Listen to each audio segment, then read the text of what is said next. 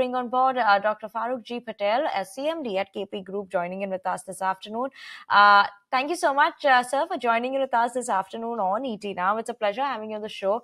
And, you know, what I want to do talk about is obviously the latest that has come in in terms of the details of uh, uh, KPI Green actually managing to um, the Maharashtra project that you all have won. And, you know, in terms of more details on that, uh, this is coming in from Maharashtra State Power Generation. So this is a solar project. Uh, could you give us more details in terms of that? What is the expectation in terms of uh, the revenues and synergies that when do you start seeing that from?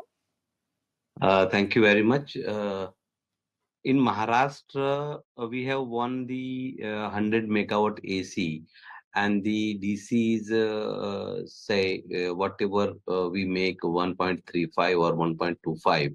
In in that uh, project, we have to give them a 19 point uh, say nine uh, million generation per megawatt. That is the 1.9 million generation per megawatt. That is the main thing, and we have won that project in 5,000 say five, uh, 520 crore rupees uh, altogether you can say.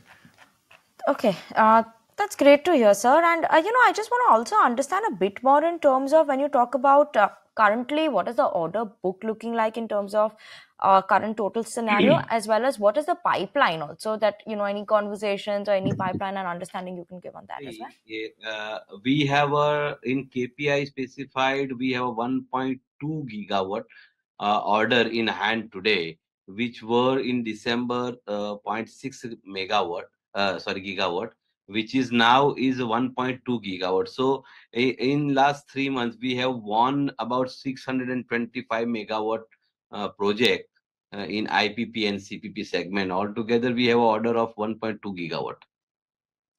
Okay, order of uh, 1.2 uh, gigawatt is what uh, you're focusing at. You know, also overall, you know, how are you seeing, uh, you know, moving on to this green energy trend? That is what we're picking up in terms of demand as well.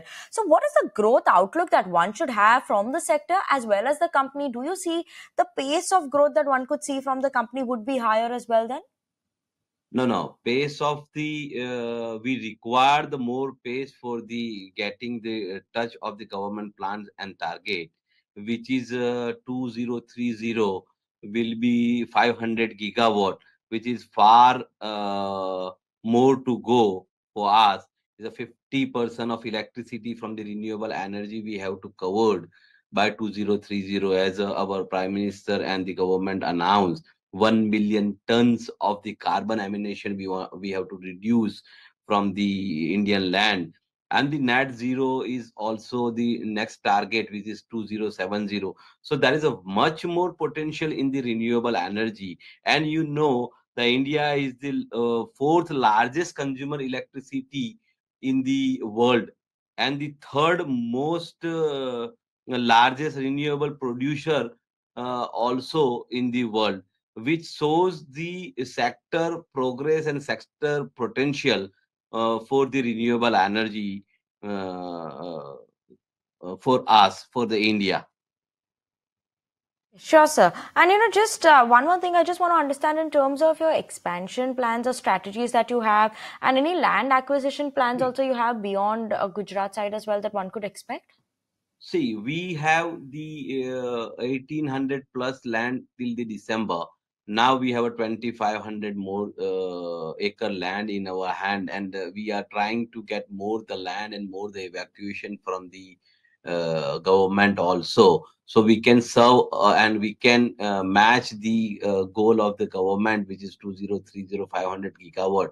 We have reached we will reach by 2050 2025 uh, December 1000 uh, megawatt, which is uh, one gigawatt. But we are going to now uh, extend the uh, our target, or you can say we are going further for the target.